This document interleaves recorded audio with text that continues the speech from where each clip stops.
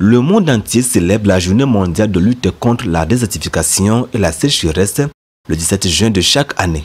La désertification et la sécheresse font partie des plus grandes menaces pour un développement durable, surtout dans les pays en développement. Il faut donc apporter une solution pour atténuer l'avancée du désert et soulager le sol afin de réduire le stress hydrique.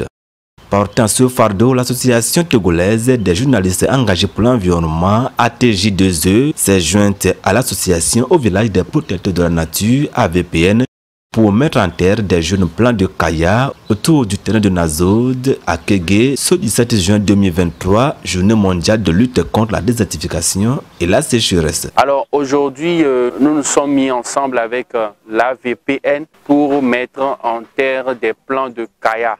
Et je rappelle qu'aujourd'hui, c'est la journée mondiale de la lutte contre la désertification et la sécheresse. Et vous devez savoir que selon les prévisions d'ici 2050, le quart de la population mondiale sera véritablement confronté aux sécheresses. Et les sécheresses constituent l'un des problèmes qui sont liés à la nature ou bien à notre environnement. Les sécheresses viennent dégrader de plus en plus la biodiversité et nous, en tant que journalistes engagés sur euh, la protection de l'environnement, il était important pour nous euh, de joindre les actes aux paroles parce que c'est vrai qu'on nous voit de plus en plus écrire, filmer, monter, etc. Mais nous sommes aussi concernés par rapport à ce genre de problème. Quand il y a de la sécheresse, il n'y a pas de l'eau. Et maintenant, le, le fait de mettre en terre ces plans vient véritablement résoudre ce problème de stress hydrique et en même temps permet à ce que la biodiversité puisse être restaurée. L'association Village des protecteurs de la nature n'a pas cessé d'honorer ses engagements environnementaux.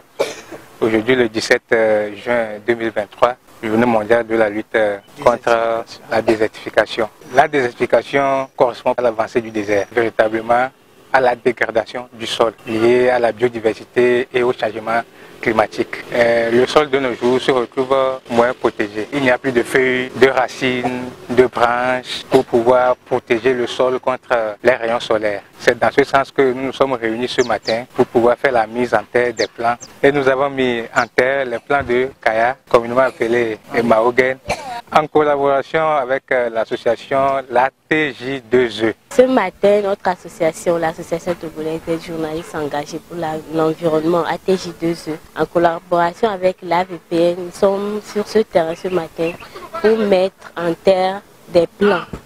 Euh, en réalité, euh, je me retrouve seule et femme parmi tout le groupe et je suis fière de cela parce que c'est en quelque sorte pour donner l'exemple aux autres femmes, pour dire en fait que la question de l'environnement nous concerne tous, peu importe notre genre, peu importe tout ce que nous faisons, la question de l'environnement nous concerne tous. Donc, nous avons choisi ce jour qui représente la journée mondiale contre la désertification pour poser cet acte, pour pouvoir montrer notre contribution à la protection de l'environnement. Avec cette action en présence des membres de la TJ2E, la VPN vient encore confirmer sa présence sur le terrain.